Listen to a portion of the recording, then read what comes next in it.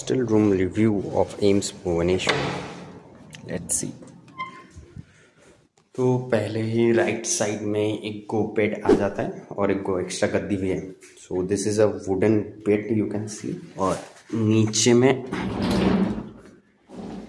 Case भी है और कोई सामान रखने के लिए after that you get one अलमीरा जिसका चाबी तो यहाँ पे नहीं है study table and chair you can place it और उसके साथ अटैच्ड बाथरूम्स भी है। ठीक है washing basin and toilet shower भी है, रखने का हैंगर भी है।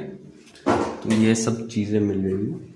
और पंखा है but one set thing is that यहाँ पे एसी नहीं इंस्टॉल कर सकते हैं।